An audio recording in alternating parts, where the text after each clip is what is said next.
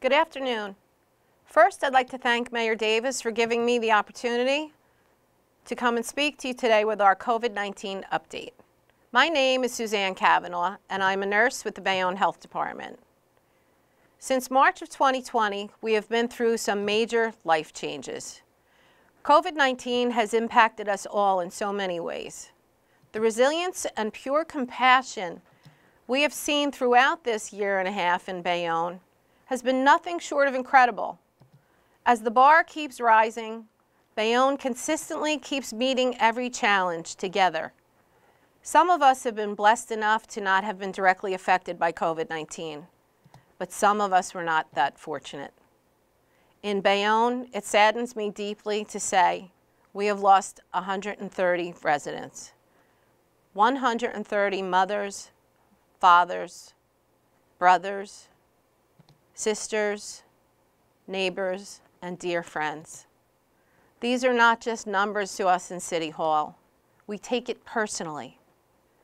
It is a harrowing experience having a family member in the hospital infected with COVID-19, not being able to be with our sick loved ones, waiting for any bit of information from the hardworking staff at the medical center, which sometimes could take a very long time because they are so busy caring for other COVID patients.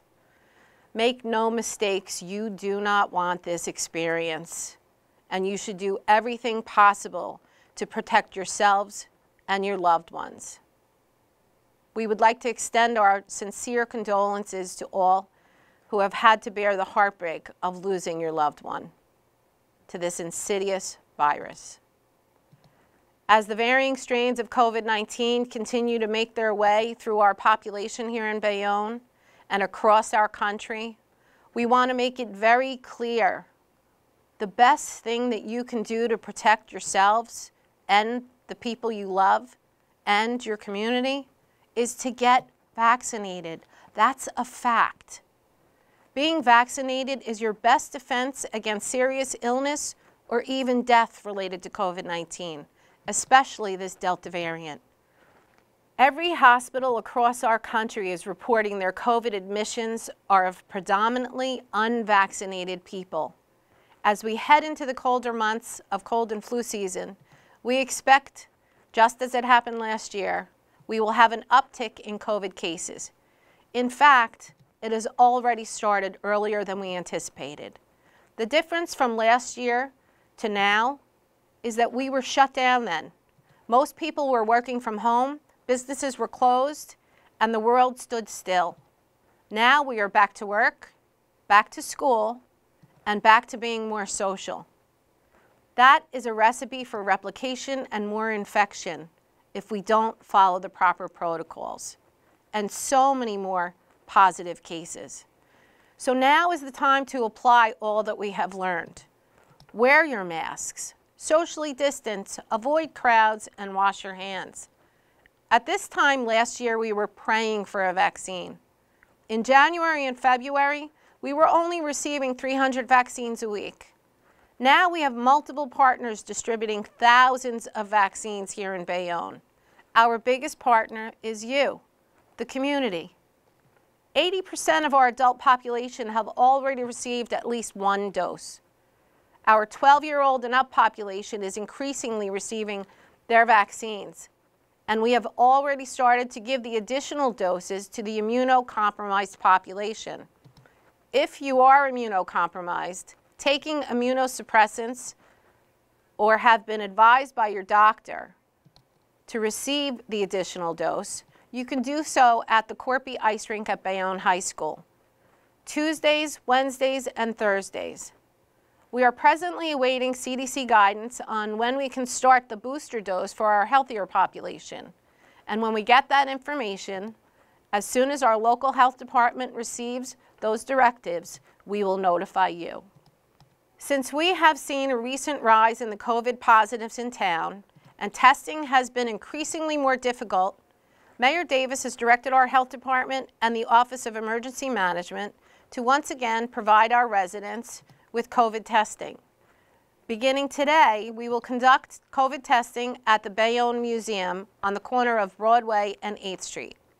The present hours of operation are Thursday from 1 to 7 and Sunday from 9 to 3.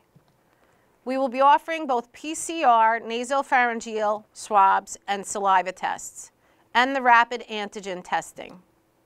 For more information, visit our website at bayonnenj.org.